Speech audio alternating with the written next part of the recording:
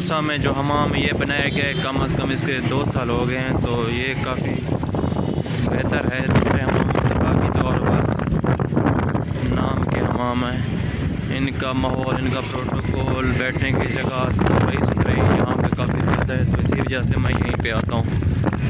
तो मैं दूसरी बार आ रहा हूँ, काफ़ी अच्छे बनाते हैं, इस बार देखते हैं कौन सी कटिंग करवाता हूँ।